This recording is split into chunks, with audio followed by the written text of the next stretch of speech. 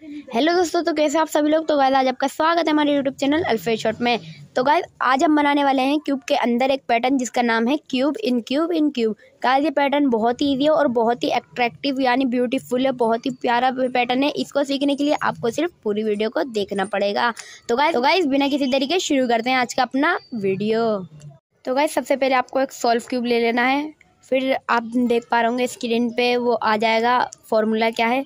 सबसे पहले आपको करना है यू प्राइम फिर इसके बाद एल प्राइम फिर यू प्राइम फिर F prime R two B prime R F U B two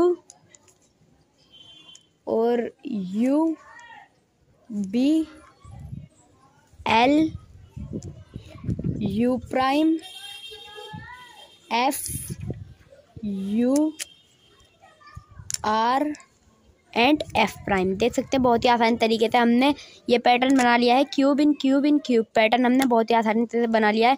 तो गाइज़ अगर आपको ये वीडियो अच्छी लगी है तो लाइक करना. चैनल पर नहीं हो तो सब्सक्राइब करना. मिलते हैं अगली वीडियो में. Bye bye